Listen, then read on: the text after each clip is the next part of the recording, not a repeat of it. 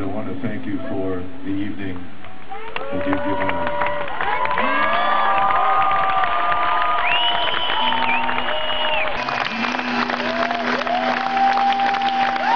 I want to draw, draw our respectful attention once again to the Israeli and Palestinian members of the Bereaved Parents for Peace.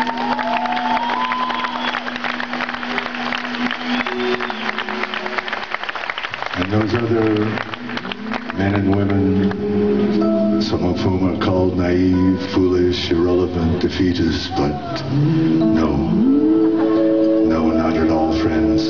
They have, they have achieved the victory, perhaps the only victory available, the victory of the heart over its own inclinations for despair,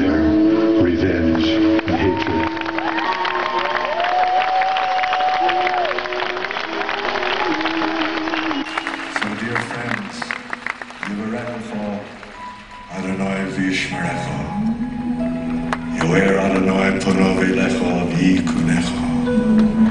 Yisro Adonai pano v'elecha v'yisim lecha. Shalom.